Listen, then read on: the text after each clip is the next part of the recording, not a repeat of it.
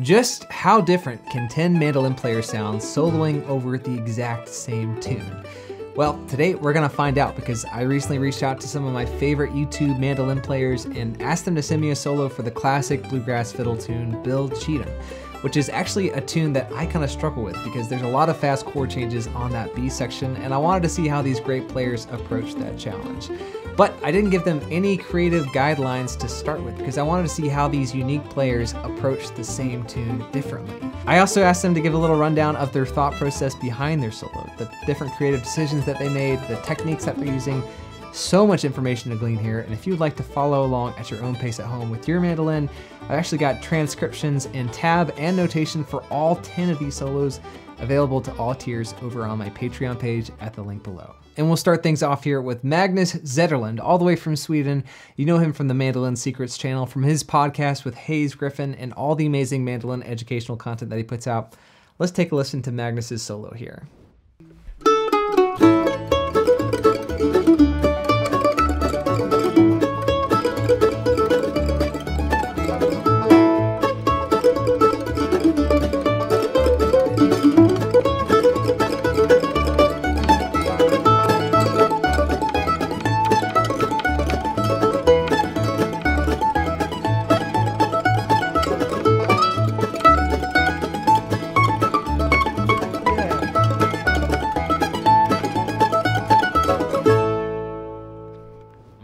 Honored to be part of this series by David, so thank you so much. I got like five things that I want to point out that hopefully can inspire someone. The first thing that I was thinking of is you might have heard someone say, nothing beats the melody. And for me, being a folk player, uh, that, that really applies to me. And it's basically this my melody version of this that I'm using to improve my technique, my drive, my tone and everything. So it's really good to like find a, a melody version that you're really fond of. Next thing, it's actually playing around with the rhythm slightly. So starting it and next time. Very simple thing, but immediately adds variations to it. The third thing is actually to, to put in a little of, of a blues touch in there also. So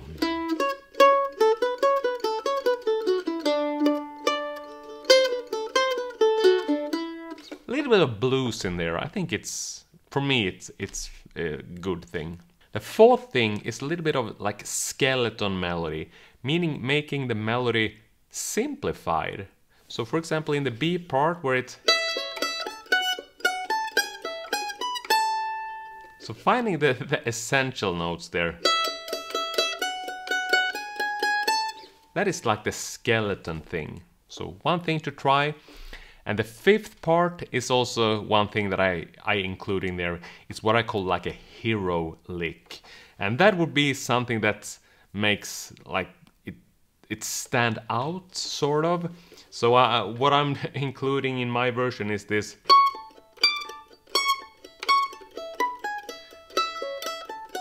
That what I am calling a little hero lick. So five quick ideas for how to spice up and make variations to a fiddle tune. For my equipment, I play this um, F5 mandolin. It's a red diamond mandolin made in Ohio by luthier Don MacRostie. It's pretty new for me. I got it this year in February. It's a lovely instrument and it's really a big upgrade for me. I'm using a Hense. Uh, well, it's got my signature on it. It's Magnus Zetterlund signature pick. Really good one. I like it. Then for the strings, I'm using straight up strings. There's just something with the overtones of those strings that I really like. Thank you so much for watching. It's been a pleasure being here in this, um, highlighted in this series. Thank you so much. I'm Magnus Zetterlund. Awesome playing Magnus. I love that idea of the melody shining through in your solo, but also having some flashy stuff up the neck there too. Hero lick. That's an awesome phrase. I'm gonna steal that one for sure. Moving on to our second mandolin player here, this is Lauren Price Napier, and you probably know her amazing modern Monroe style playing from her band, the Price Sisters, but she's also made appearances here on the channel before and has a great YouTube channel of her own that you should definitely check out. Let's take a listen to Lauren solo.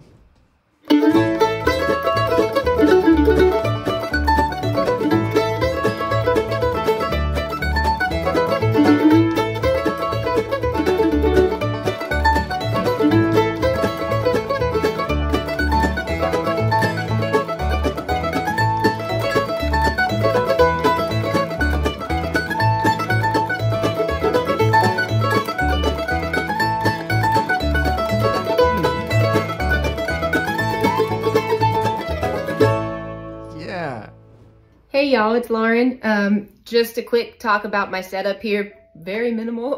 I'm actually just using my AirPods um, uh, to listen to the backing track to record on top of, and then uh, my iPhone to make the video. But it works. Um, I'm playing a 1923 Gibson F5 mandolin. Um, my own personal mandolin is a Buckeye mandolin, but I've been playing this one on loan for a year or so and really enjoying it. Um, I guess I should move it into the picture a little bit better. And I use GHS Silk and Bronze strings, um, antique shell pick. Uh, I like this shape. It's a general kind of not too not too big, not too small size, rounded triangle. Uh, not super thick. This material, of course, is naturally heavy, so it's hard enough that it doesn't bend, but I, I like a bit of a thinner pick, actually, just not something that'll flex. Um, that's kind of how I how I get uh, go after the tone that I want anyway, uh, depending on what I'm playing.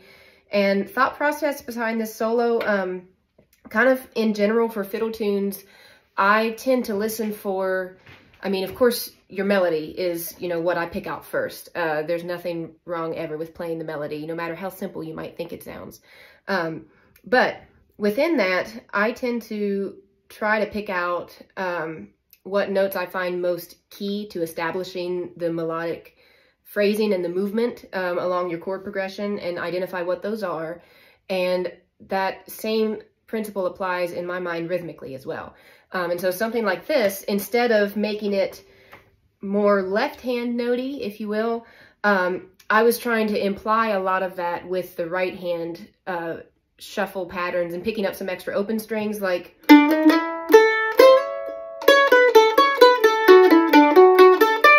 you know, that's kind of a single note take on what I was doing, but a little bit more in depth here with the left hand, but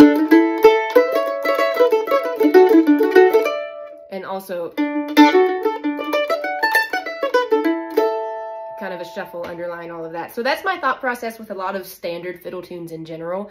Um, it's not necessarily a means of simplifying them, but I try to pick out, again, like I said, what notes stand out the most to my ear as establishing this tune identifiable from any other tune um, and go from there and then build around build around that and fill in the blanks with textural ideas whether that's tremolo um, open string you know rhythmic things going on like i said but uh, yeah it's kind of where i was going with it just two players in, and we're already seeing how the same tune can sound so different between two players. I love how rhythmic that is. It just grooves so hard. All those double stops and slight melodic variations that Lauren's playing here. Amazing work. Our third mandolin player guest here is Wayne Benson from Wayne's World of Mandolin here on YouTube. If you've seen his instructional videos, you know that his content really comes from a deep wealth of experience that he's had touring with Russell Moore and Third Time Out, with his wife, Kristin Scott Benson, so many other people as well. Absolute mandolin legend. Stoked to have him here. Let's take a listen to Wayne's solo together.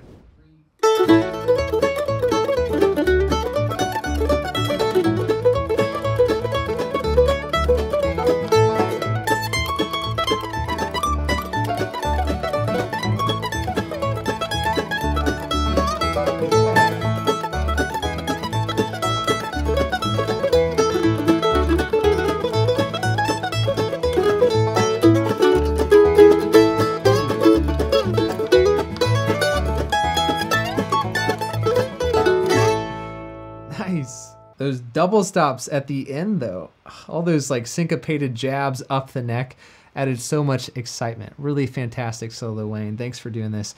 And if you're interested in recording stuff, here's a rundown of all the gear that Wayne used for this video.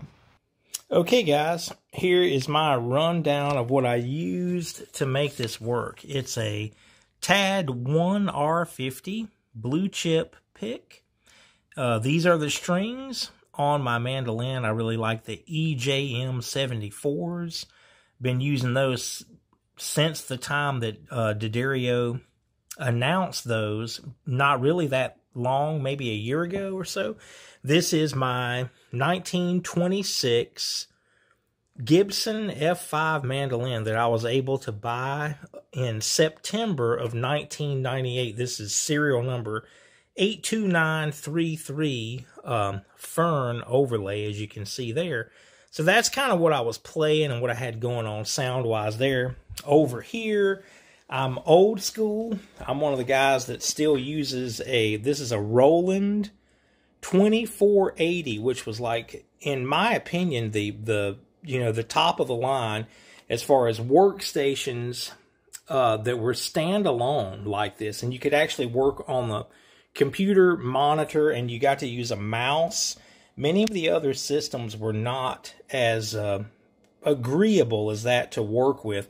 I do, as great as that unit sounds, I do have the the preamps and the analog to digital converters are great, but I do have that bypassed. I'm using an API A2D. It's it's still on. You can see it responding to what I have to say here, but that's um, a really great unit for a guy like myself that only needs a couple of channels of really good analog to digital converter and preamp. Um, that'll get it done for you.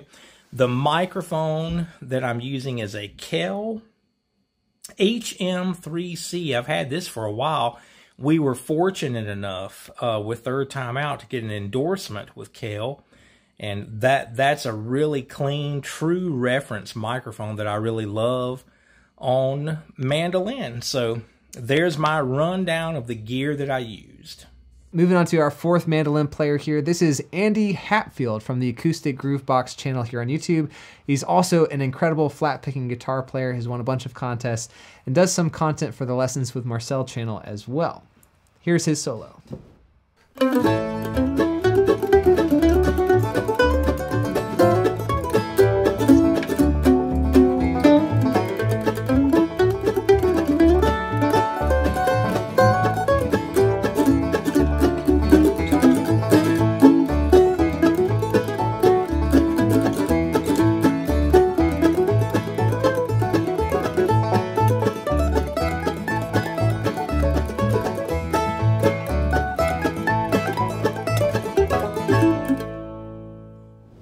Wanted to give you a quick rundown on the gear. This is probably the cheapest mandolin in this video. I bought it used for $100 off of Reverb.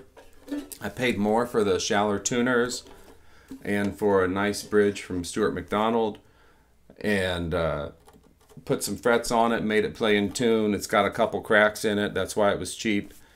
And um, it's kind of an overachiever and I like it. I, I play it a lot um, and I like this instrument. Um, I've got the little grommets blocked off here. I got the little leather here, block off all these extra things. You can make an inexpensive instrument sound pretty good. Um, for a pick, I use a Dunlop Ultex 1 millimeter. These get a bad rap as being scratchy, but they get smoother the longer you play with them. These are the Bobby Osborne strings from GHS, medium lights. It's a great set of strings.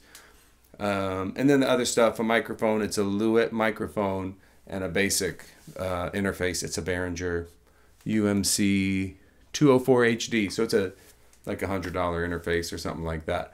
So um, a little bit on my approach to this melody. Um, the first thing I did when I got uh, David's email asking to do this was I sang a break for it. I listened to the track he sent and I sang what I thought I wanted to play. The reason I did that, it was six in the morning. Everybody else in the house was asleep. And I sang it into my phone. And this is a trick I learned years ago out of the Hot Licks for Bluegrass Guitar book, um, where you sing what you want to play into your recorder, and then you try to play it later. And so I liked what I had, and I went and tried to play it. Some of it worked, some of it didn't. I had to simplify some things, some things just didn't work. And then from a musical standpoint, you know, Bill Cheatham goes, doo, doo, doo. it's an A chord and it's a low note and a high note. So I went a low note and a high note, and then a low note and a high note. a low note, then a high note, and then, you know, just a bunch of other stuff. So essentially at that point, I'm playing the chords and not the song, and I try to bring it around to give you a little flavor of the song. If I was the first person on the track, I would just play the basic song. But since there's probably several people on this, I figure they're going to put me far enough down the line where I don't have to hold the melody. Okay? So thank you very much for having me do this. And, uh, and that's that. Thanks a lot. Man, that is such a great idea, singing an entire solo into your phone first and then going back and learning that solo on your mandolin later on. I'm sure that's why there's so many unique melodic ideas here. And Andy's really right. As the jam goes on, as more solos happen, later on you have more opportunities to do different things with your solo. You don't have to stick to the melody. You can do different stuff like this as well. I love it. Thanks so much, Andy. For number five here, we have another talented flat picker as well as a mandolin player, the incredible Hayes Griffin from his own channel. You might have also seen him make appearances on the Mandolin Secrets channel and on Lessons with Marcel. He's just a really articulate teacher and player, has a lot of jazz influence, and I'm excited to hear his solo with you.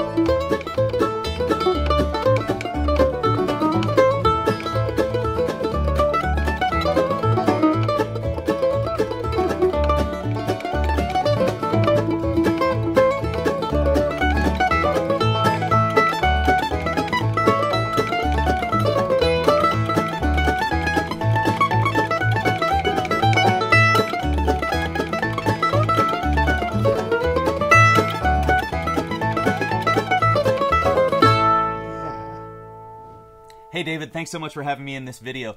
For those of you that don't know me out there, my name is Hayes Griffin and I'm a mandolin and guitar player based in Columbus, Ohio. Today I'll be playing my trusty Red Diamond Vintage 22F model built by Don MacRostie in Athens, Ohio with a blue chip TAD50 pick. That's my preferred pick for mandolin and guitar. And I've got straight up strings mediums on this mandolin right now. I've recorded today's session with a warm audio WA84 small diaphragm condenser. A lot of times I like to use those in stereo on my mandolin, but today I'm pairing that with my Stellar X3 large diaphragm condenser microphone. The solo that I played here on Bill Cheatham today was inspired by two main melodic devices, encircling and chromatic connecting lines. These are both devices that I stole from some of my favorite swing mandolin players like Tiny Moore and Jethro Burns, and I think they're a great way to add some angular, spicy sounds to your bluegrass mandolin playing. Encircling is simply where you take a target note like the C sharp in the melody to Bill Cheatham and play a scale tone above, a half step below, and then land on your target note. You can also target your note the opposite way, half step below, scale tone above, target note. I've found that that's a great way to kind of add, like I said, an angular sound to your playing and maybe spice things up from your standard linear bluegrass lines. The second tool that I was using was chromatic connecting lines. This is one that I mainly picked up from Tiny Moore. This is all over the place in his playing. And you can see that he connects a lot of chord tones with one another using chromatic notes, not notes from the scale. One of the main ones that pops to my mind is the last few bars of my B part here on Bill Cheatham. I play a line that sounds something like this.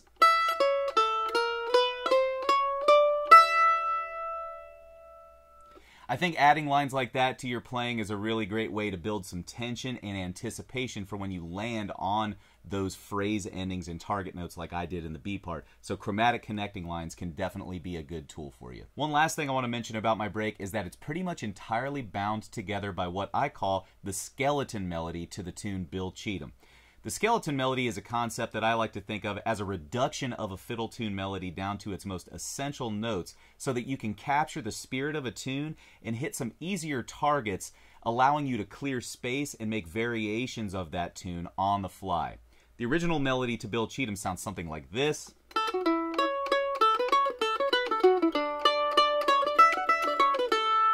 But what I keep in my, the back of my mind is something that sounds more like this.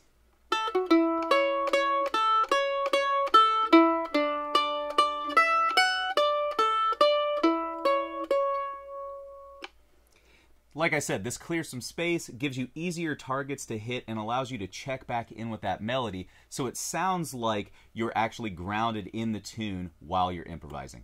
All right, folks, there you have it for my break here on Bill Cheatham. I hope that those concepts, encircling, chromatic connecting lines, and the skeleton melody can help you out when you're making your own breaks to fiddle tunes like this one. That is such a helpful rundown, Hayes. Thank you for that. I thought I heard a little Tiny Moore in Jethro Burns in there, and that encircling trick is such a cool idea. I'm definitely going to steal that for making my solo sound a little bit more jazzy. well, we're halfway there, just five more mandolin players to go. And for number six, here is a familiar face.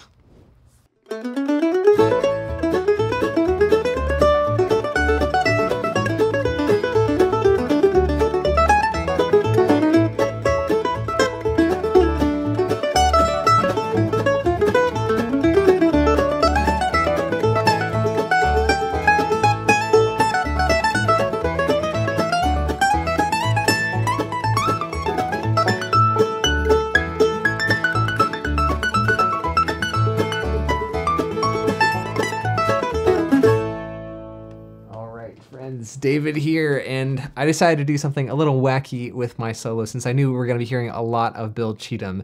So it may not be the most tasteful solo, but if I get a few smiles out of it, then I feel like my job was accomplished here. I planned this solo out pretty much note for note before I played it, and at first listen, it may not sound like there's a lot of melody in there, but I'm really referencing target notes of the melody throughout the solo, just getting there in different ways. And then I'm just doing some weird things to displace those target notes by either getting there a beat too early or too late, by starting phrases on upstrokes instead of downstrokes for some syncopation, even adding in some quarter note triplets, which sounds kind of weird on a fiddle tune, I know, but we did it anyways.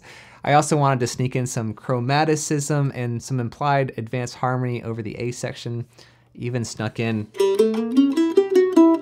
a diminished chord. Let me know in the comments below if you think I did it successfully though. and then for a flashy finish, I wanted to go all the way up the neck to play the B section melody in a higher octave which the frets are pretty tiny up there, but makes for a fun ending. And for this video, I'm using my trusty Apitius Vanguard mandolin. I have the new D'Addario XS custom medium strings on here, which I've been liking a lot recently.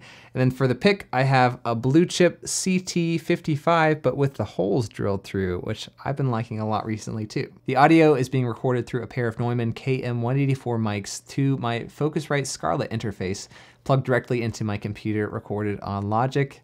I hope you enjoyed this solo. Enough of that nonsense. Let's get back on track with our seventh guest here, Kylie Kay Anderson, who's currently living in the Netherlands and playing with the duo Long Way Home. I love Kylie's channel. You should definitely check it out, and I think you're really to like her solo. Let's take a listen.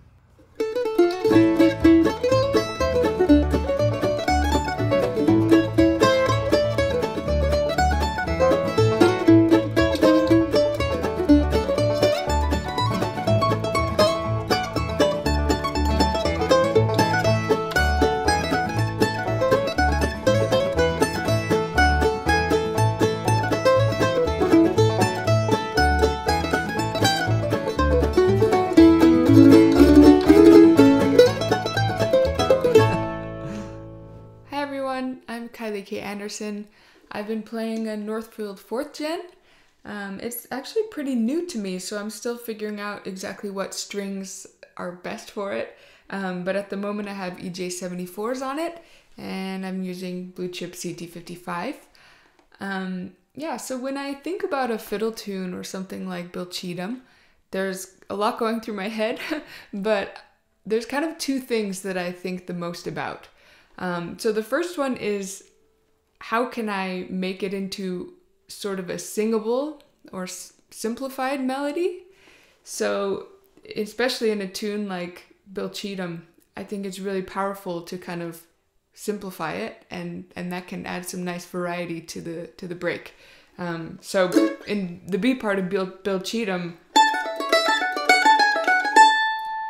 instead of that kind of full melody ish, um, I could do something like this. And I think that is nice way to kind of break things up. Um, and then also, I really love to play licks. so I love to learn kind of these funky, crazy licks, and then I can kind of slap them in to any break that I'm playing.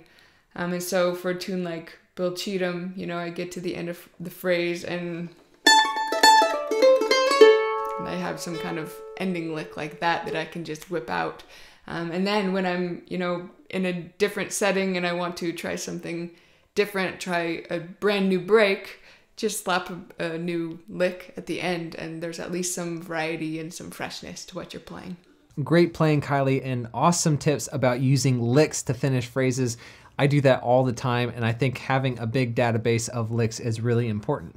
That's why we're here, right? You're definitely gonna recognize our eighth mandolin solo coming to you from Mando Lessons man himself, Baron Collins Hill. And Baron was really one of the first mandolin content creators on the platform. We owe so much to him, and it's a big honor to have him here on this video.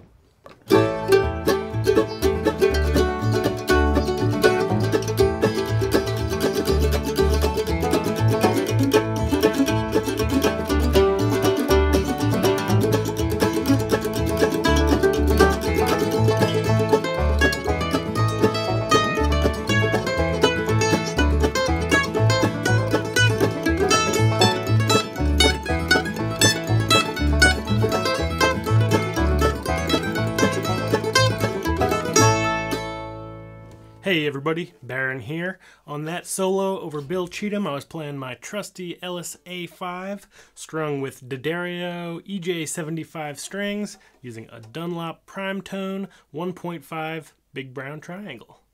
It's always interesting to take a solo when you don't have any context of what came before or after like you would in a normal jam, so I thought I would just give a little bit of context of what I thought about doing and sort of what ended up happening. First off, what I'll say is I love to just sort of fly by the seat of my pants when I take solos. I don't generally put a whole lot of thought into them uh, in terms of you know building up specific things that I'm going to do. I just listen to what came before and say, hmm, what what is that inspiring me to play? In this case, uh, wanting to do something a little bit different, I started out with some kind of dissonance and interesting kind of rhythmic ideas of uh, kind of a, a big A dominant seven chord. And let's see, from there, I kind of stayed down low, played a little bit with kind of altered chord ideas. You know, the, the tune's mostly playing over A, D, and E. Um, but I know at some point I went kind of uh, implying a G major chord, which is kind of a bluesy sound uh, over that context. Let's see, and after that, I kind of ramped up into the middle of the instrument and kind of played around with. Kind of blues scale using a lot of so again we're in A major. So I'm also throwing in some C naturals and G naturals to kind of add a little bit of a kind of bluesy flavor.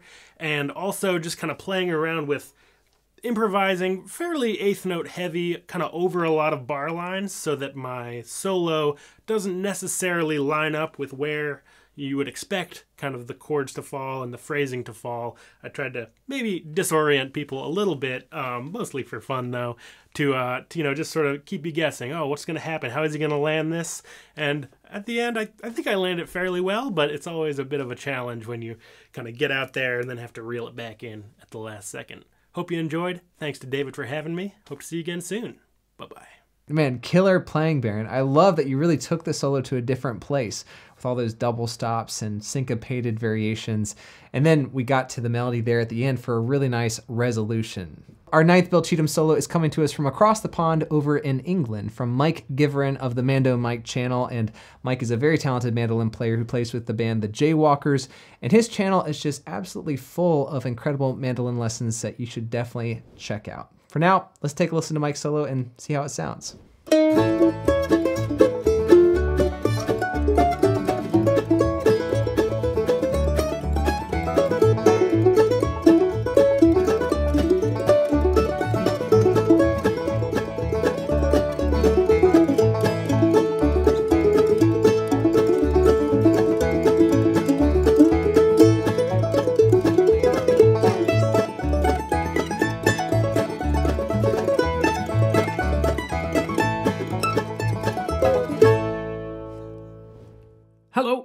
Mando Mike, and just a little rundown on what equipment I'm using for my Bill Cheatham solo. So this is my Christofect mandolin, made in 2002. He made it for himself, I think. I got it third hand. So he's done some unusual features. It's a solid mahogany back, which is quite unusual for mandolins. Normally it's two pieces, and he always um, shaves down his neck, which is a lot easier for controlling slides. And he's based in the Czech Republic. Uh, I think in America you might know him as Krishot, but in the UK we know him as Christofek. Uh, the microphone I'm using is an AKG C214. Uh, just sort of a bit of a jack of all trades, picks up vocal, means I can just have one microphone for these videos. Uh, I love Vegan picks for the added grip that they give me, and I'm using the D'Addario XS strings uh, 11s. Um, they're the closest things to elixirs I can find. I used to love elixirs, but um, unfortunately they're no longer available. Um, my solo is very scale based, um, so uh, a lot of A major scales with some A pentatonic blues scales in there, and sort of some chromatic scales thrown in in the first time through. I guess the summary of my solo is I when I'm playing fiddle tune solos, so specifically over fiddle tunes, I sort of see it as like an elastic band that you can push and stretch and pull and then bring it back together. But at all points, it still sounds like the melody. So how much can you mess around with timings and rhythm and notes, but still the core of Bill Cheatham is in there, and then you snap back for the next section, play the melody, and then you're off again. You stretch it in another direction. So that's how I think of those solos. Um, I have a bit of a, you know, some cross picking in there, some down the neck, some some chromatic double stops. Um, so hope you liked it, and I'm looking forward to seeing all the other videos. An elastic band. That is such a good analogy for improvising over a fiddle tune, just snapping back to the melody, but seeing how far you can stretch it and still maintain its form. Awesome playing, Mike. Thanks for doing this. Last but not least, our 10th and final Bill Cheatham solo comes from Jake Howard of the band The Henhouse Prowlers up in Chicago. His YouTube channel features some of the most beautiful videography I think the mandolin world has ever seen before, and he owns about every nice mandolin that I'd ever want to own and makes them sound really good. Let's take a listen to Jake's solo.